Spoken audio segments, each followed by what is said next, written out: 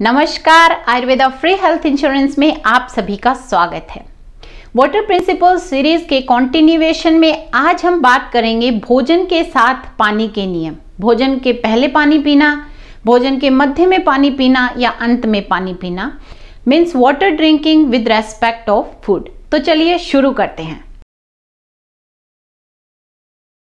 As a quick reminder जैसे मैंने आपको पहले बताया कि जो आहार या डाइट हम लेते हैं, उसमें फ़ूड या बेवरेजेज जो लिक्विड पार्ट है, यानी जो भी हम खाते हैं या पीते हैं, वो सभी हमारे आहार या डाइट के अंतर्गत आता है।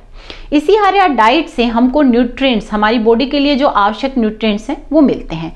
ऐसे सिक्स बेसिक न्यूट्रिएंट्स होते हैं, जिसमें पहला है वाटर जो कि मोस्ट असेंशियल न्यूट्रिएंट होता है। Then carbohydrate fats proteins vitamin and minerals तो इनको हम सेपरेटली नहीं लेते हैं। जो फ़ूड आइटम हम लेते हैं या एक बैलेंस डाइट से इन न्यूट्रिएंट्स की शरीर में पूर्ति होती है या ये हमें मिलते हैं। अब जब हम भोजन के साथ पानी पीने के नियमों की बात करते हैं तो वाटर का क्या रोल है? तो जब डाइजेशन की बात करते हैं, भोजन के पाचन की बात करते हैं तो दो प्रकार का डाइजेशन होता है। पहला होता है मैकेनिकल डाइजेशन और दूसरा होता है केमिकल डाइजेशन मैकेनिकल डाइजेशन का मतलब होता है जैसे मुँह में जब हम फ़ूड को चबाते हैं, यानी कि उसको हम बड़े पार्टिकल को छोटे पार्टिकल में चबाने का कार्य कर रहे हैं तो वो मैकेनिकल डाइजेशन होता है। केमिकल डाइजेशन का मतलब है जब उसमें एंजाइम्स और जो डाइजेस्टिव जूसेस से जो पाचन होता है, वो केमिकल डाइजेशन के अंतर्गत आता है। तो केमिकल डाइजेशन जब होता है तो जो एंजाइम्स होते हैं, वो बड़े फ़ूड पार्टिकल को या जो मैक्रोन्यूट्रिएंट्स होते हैं, उनके जो बॉन्ड होते हैं, उनको ब्रेक डाउन करने के लिए वाटर का यूज़ करते हैं और इस प्रोसेस को हाइड्रोलिसिस कहते हैं, जिसमें कि वाटर का प्रयोग होता है। अब बात करते हैं आयुर्वेद के अनुसार भोजन के समय पानी पीने के क्या नियम हैं। तो संहिताओं में बताया गया है, भोजन काल में अन्न खाने से पूर्व यदि आप पानी पी लेते हैं तो अग्निमांद्य होता है और शरीर में कृष्णता आती है। तो देखिए ऐसा क्यों होता है? जब भोजन का काल होता है तो आपकी जो बॉडी है, उसमें डाइजेस्टिव जूसेज जो है, वो जो पाच का अग्नि होती है, वो बहुत तीव्र होती है। उस समय यदि आप एकदम से पानी पी लेते हैं तो जो डाइजेस्टिव जूसेस होते हैं, वो डाइल्यूट हो जाते हैं। यानी कि उनको जो डाइजेशन पावर है, वो कम हो जाती है। जो आपकी पाच का अग्नि है, जो अग्नि है, वो पानी से बुझ जाती है, जिसकी वजह से अग्निमांद्य होता है। इसके अलावा कृष्णता क्यों होती है? क्योंकि जो स्टमक है, आप उसको वाटर से फील कर रहे हैं। तो जो आपका सेशिएशन सेंटर है ब्रेन में, वो बोलता है, भाई स्टॉप ईटिंग और ईट लेस ठीक है? तो या तो आप स्टमक या आमाशय को सॉलिड फ़ूड से भर सकते हैं, या उसको पहले लिक्विड फ़ूड से भर सकते हैं। चूँकि अगर आपने उसको वाटर से फील किया है तो वाटर में कोई कैलोरी नहीं है तो वो कोई एनर्जी नहीं दे पाता है तो शरीर में कृष्णता या कमज़ोरी होती है। फिर बताया कि पूरा भोजन करने के अंत में यदि आप पानी पीते हैं तो शरीर में स्थूलता या मोटापा और जो आमाशय है, उसके ऊपर कफ की वृद्धि होती है। तो देखिए क्या होता है, भोजन के अंत में क्या होता है, जो पूरा हमारा फ़ूड हमने जो लिया होता है उसका एक तरह से पूरा बोलस बना हुआ होता है, यानी कि वो आगे डाइजेशन के लिए असिमिलेशन के लिए एब्जॉर्प्शन के लिए रेडी होने के लिए तैयार होता है, सारे जूसेज उसमें अच्छे से मिले होते हैं। बट एकदम से जब आप उस पर पानी डाल देते हैं तो वो पूरा लिक्विडिटी से उसमें हो जाती है क्लेद बहुत अधिक बढ़ जाता है, जो कि एक प्रकार का कफ है। और अगर आमाशय में हमने वहाँ बहुत अधिक क्लेद बढ़ा दिया है तो क्लेदक कफ बहुत अधिक बढ़ जाता है, जिसकी वजह से कफ के रोग होने के बहुत चांसेज रहते हैं। क्योंकि ऐसा होने से भोजन का पाचन ठीक से नहीं होगा, आम बनेगा, जिसकी वजह से उत्तरोत्तर धातुएँ, यानी कि रस के बाद रक्त मांस में जो सारी धातुएँ बननी है, सारे बॉडी टिश्यूज बनने हैं, वो ठीक से नहीं बन पाते हैं और उसकी वजह से स्थूलता, यानी ओबेसिटी या मोटापा होता है। भोजन के मध्य में पानी पीने से धातुओं में समता होती है, अंगों में समता होती है और अन्न का सुखपूर्वक पाचन होता है, ऐसा कहा गया है। तो देखिए, जब मध्य में हम पानी या थोड़ा लिक्विड का सेवन करते हैं तो वहाँ पर जो आमाशय में क्लेदक कफ है, पाच का अग्नि है और जो समान वायु है तो जो पाच का अग्नि है, उसको जो कंसंट्रेशन चाहिए, जो जूसेज को कंसंट्रेशन चाहिए, वो बनी रहती है। भोजन में एक क्लेद, यानी कि छोटे छोटे उसके जो बड़ा भोजन है, उसके छोटे पार्ट होते हैं वो क्लेद उसको करने के लिए जो क्लेद चाहिए, वो वहाँ मिलता है। और समान वायु जो उसके मूवमेंट के लिए चाहिए, वो प्रॉपर मिलता है। इसीलिए वहाँ पर प्रॉपर डाइजेशन होता है। उत्तरोत्तर धात्वें यानी कि ठीक प्रकार से डाइजेशन एसिमिलेशन एंड एब्जॉर्प्शन होता है।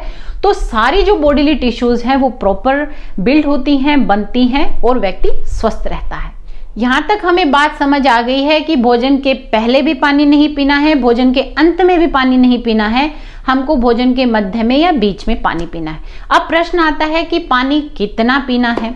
तो इसके लिए देखिए, आचार्यों ने बताया है कि भोजन के दौरान या फिर ड्यूरिंग मील बहुत ज़्यादा पानी या लार्ज क्वांटिटी में वाटर या लिक्विड नहीं लेना चाहिए और ना ही ऐसा करना चाहिए कि आप बिना लिक्विड या पानी के ही भोजन करने की आदत बना लें। इसकी वजह से इनडाइजेशन की समस्या आती है।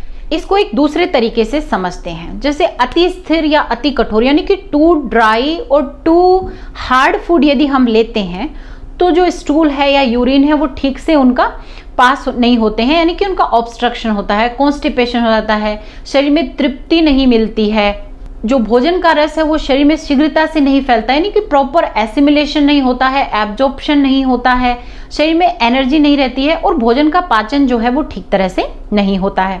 इसी तरह से अति द्रव आहार, यानी कि टू लिक्विडिटी वाला फ़ूड लेते हैं, तब भी शरीर में कफ के रोग, जैसे प्रतिशाय है कफ कोल्ड नजला है डायबिटीज़ प्रमेह अभिष्यंद शरीर में भारीपन या आलस बना रहता है। पाचन ठीक से नहीं होता है। जो अग्निबल या डाइजेस्टिव पावर है, वो कम हो जाती है। अब आपके दिमाग में प्रश्न आ रहा होगा कि भोजन के साथ बहुत ज़्यादा पानी या बहुत कम से क्या समझें? तो अगेन आयुर्वेद का थम रूल है every one is different every one needs are different so आप इंडिविजुअल अप्रोच हमको यहाँ पर प्रयोग करनी पड़ेगी। दूसरा देखिए, आयुर्वेद में बताया है कि जब आप भोजन करते हैं तो आमाशय के जो वन थर्ड पार्ट है, वो आपको सॉलिड फ़ूड से वन थर्ड पार्ट जो है वो लिक्विड फ़ूड से, और जो वन थर्ड पार्ट है, वो हमको वात या वायु के लिए खाली छोड़ना चाहिए। ये एक रूल है कि इससे हमें खाना चाहिए। बट फिर भी देखिए, यहाँ पे आपको क्या करना है? पानी जो है, आप वो 50 एम से 150 एम तक भोजन के मध्य में प्रयोग कर सकते हैं।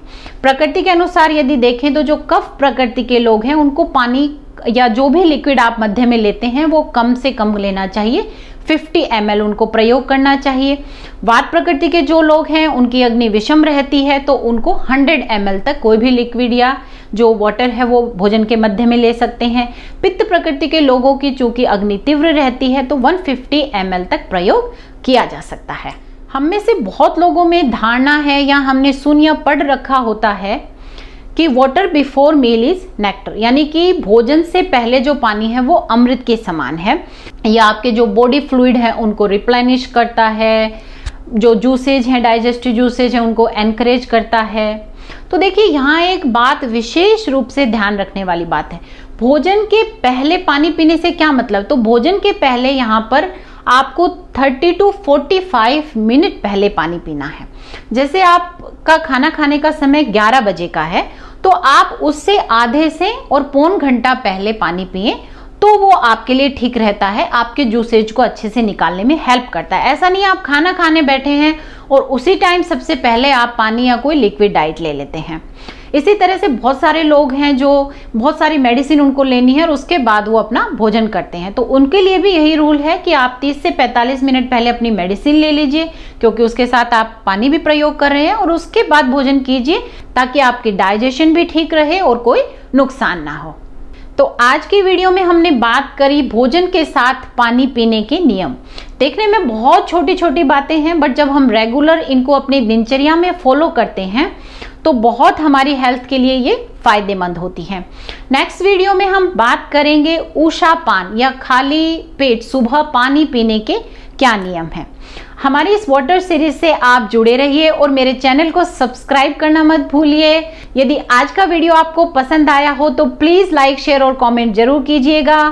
मिलते हैं नेक्स्ट वीडियो में। तब तक के लिए take good care of yourself because health is wealth